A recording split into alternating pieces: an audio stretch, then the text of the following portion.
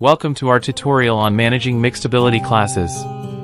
In this video, we'll explore the various challenges teachers face and discover effective strategies to address them. Managing mixed level classes can be challenging due to the significant range of abilities. Let's dive into some enhanced ideas and strategies to tackle this common concern. So, the first strategy involves providing differentiated tasks that cater to various levels of complexity. This way, students can interact with the content at their appropriate level while still being part of the same class context. Moving on to the second strategy, we're talking about preparing separate tasks for different levels. You might consider creating unified worksheets with a mix of question types, some easier and some harder, perhaps divided by a horizontal line. Another option is to provide different versions of the same task with varying levels of support. Now, let's discuss the concept of multi-level tasks. This involves offering tasks with different outcomes based on students' abilities. Think of activities like making sentences, creating stories, or engaging in poster-based tasks. It's about accommodating diverse skill sets within the same activity.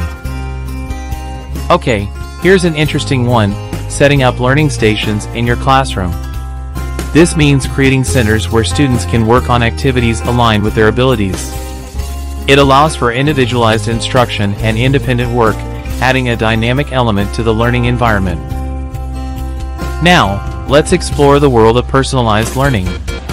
This strategy involves leveraging adaptive learning platforms that adjust difficulty based on individual student performance.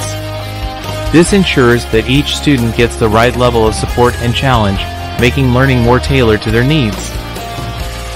Moving on to strategy number 6, peer tutoring. This is where you pair up stronger students with their weaker counterparts for specific tasks. It's a fantastic way to promote personalized support and reinforce key concepts through collaborative learning. Let's talk about giving students a bit of autonomy. Strategy number 7 involves offering a variety of tasks for students to choose from based on their interests and abilities. Think of it as a menu of options that allows students to showcase their individual strengths.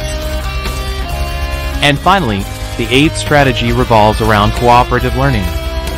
This means incorporating strategies that encourage students with different abilities to work together. It's all about fostering collaboration and shared responsibility for the learning process. Now, let's delve into a variety of class division strategies designed to effectively manage mixed ability classes.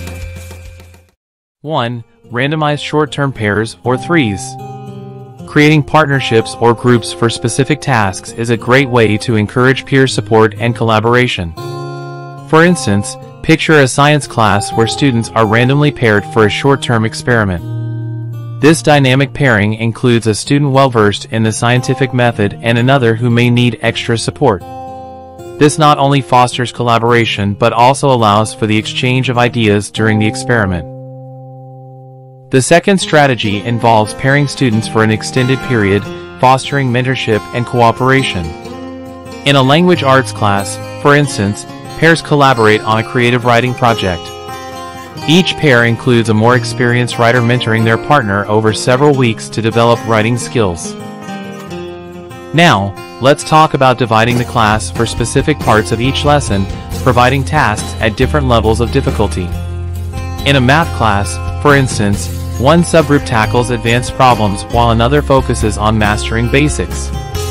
The teacher rotates between groups, offering tailored instruction and support.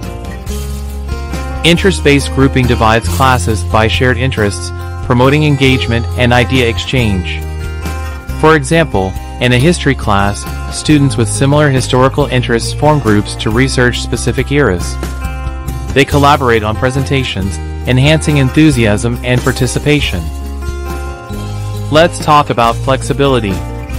Allowing students to work individually, in pairs, or in small groups based on specific learning objectives creates a dynamic learning environment.